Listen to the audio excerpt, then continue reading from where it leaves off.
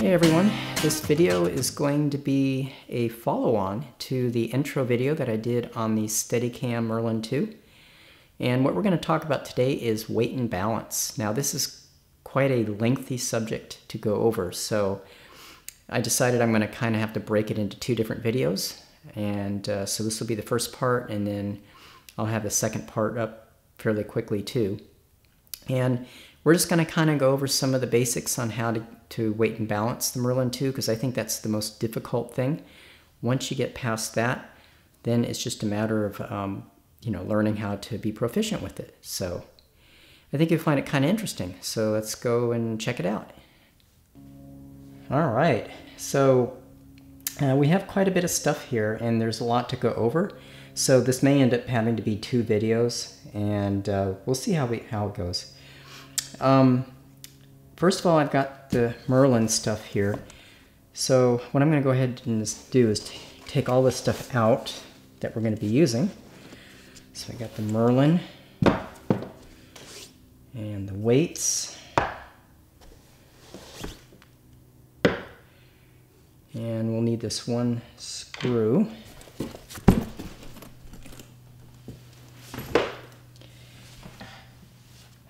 So what we're going to be doing here on this weight and balance, um, this really is a physics problem.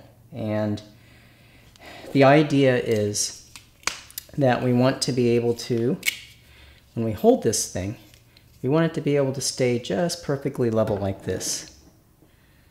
Okay, that's the idea. We don't want, it shouldn't be topping over one way or the other. And uh, so the way we control that is there's going to be some weights down here on the bottom. There's a place up here in the front where you can put some weights. And we also have some trim controls, which are going to be things that we'll be using later on. And we also have this control knob here, which will control the length of the spar, okay? So this thing can go out longer or come in shorter, the distance between the, the bottom here and the stage, okay?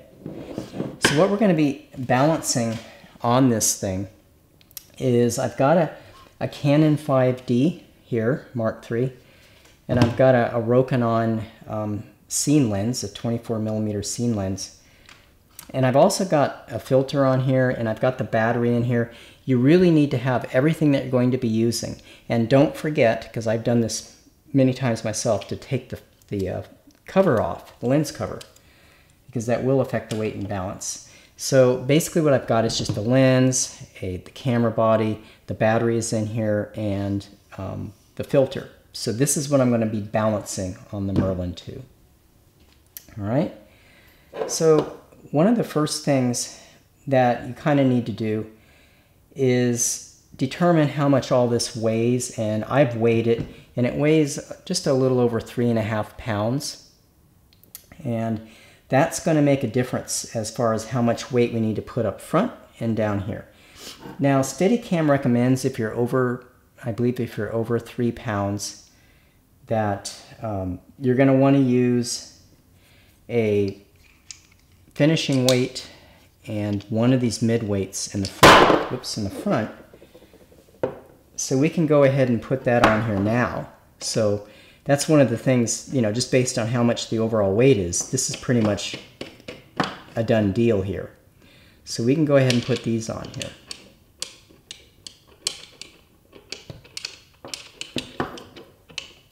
These little things can be tricky sometimes. Okay.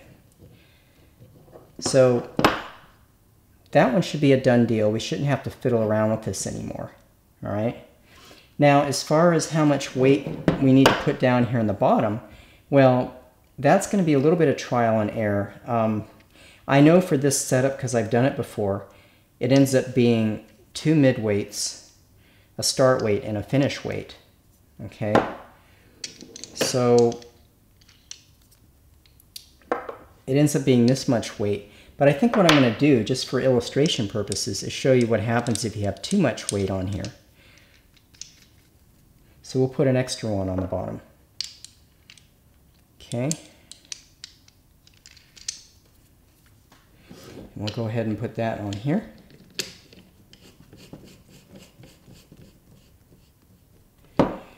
Now, you've got two locking knobs here. These should be unscrewed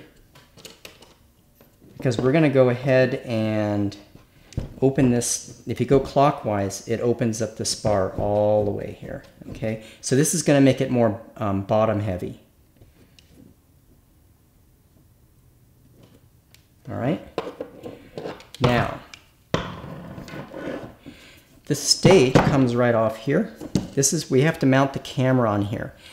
Now, there are some letters on the back here, and I actually, this is the one piece of information that I actually did kind of look up. There is a website, I think it's called merlincookbook.com or merlin2cookbook.com. You can get some information out there about what hole to, you know, what hole people typically use or and, and weights and that sort of thing. But the only really useful information I got was it seems like most people with the DSLR will use the the uh, N as in November um, hole here. So that's what I'm going to do. So I'm going to go ahead and get the camera mounted on this stage now because we need to do that before we can balance anything. So you're going to want to have this shorter end here facing the back of the camera. And what I'm going to do is put a screw here in the end hole and screw it right down here in the bottom.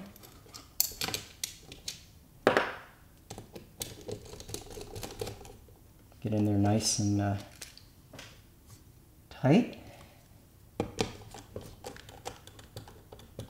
Okay, that's really good.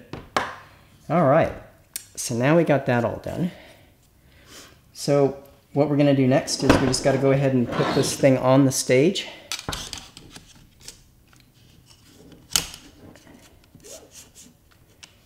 And let's see what happens here, okay? Now, the first thing I'm seeing here is this thing is just way tilted down, right? You can see how that's just kind of tilt, the, the whole camera is just tilting down here. That's because the camera is too close to the front, so we just want to move this back here.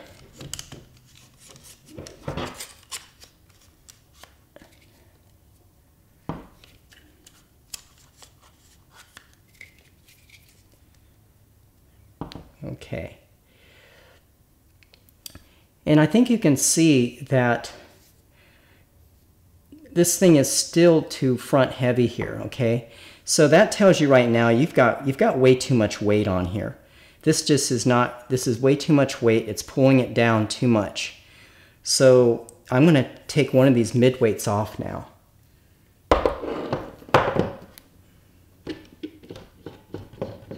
Because if you can pull this camera all the way to the back of the stage here and it's still tilting forward, you got too much weight.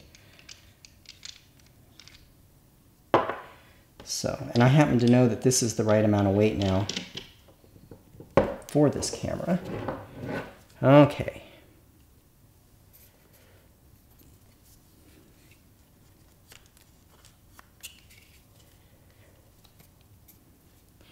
So now he's still tilting too much forward. But what we need to do now, in order to get it better balanced, is to start bringing the spars in because it's just way too bottom heavy, right? In fact, one of the things that Steadicam recommends is that you have what's called a drop time of one, around one second or so. I'd say maybe one to one and a half seconds. And as you can see, this is just way too fast. I mean, this thing is going to drop from a horizontal position down here way too quickly. So it's still way too top heavy. But we're at that point now where um, it's still, in fact, here's one thing you can do to find out if you have still have too much weight or not, right? If you go ahead and you bring this thing all the way in, okay? So turn this thing all the way in. So now you can see how this thing's really um, coming up pretty close. Notice how it's just way too top heavy now. So we went from being bottom heavy to top heavy. So that's a pretty good sign that we're in that sweet spot when it comes with, to the weight. So now I believe that we should be able to, and as I know because I've done this already, but we know that we're in that spot because we just went from being too bottom heavy to too top heavy. We know we're, we're in the right weight range. So now it's just a matter of adjusting the spar here to see what we can do. Okay. And here you can see how it's, it's a little better, but it's still way too, it still wants to kind of stay up here, right? I mean, this guy's supposed to be down here. So it's still too top heavy. So we're gonna go ahead and um, clockwise on this guy.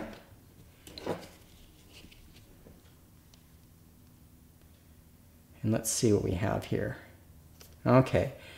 I think now we're kind of getting better. You see this? See now how it's just kind of holding up here, you know, and it's definitely usable at this point.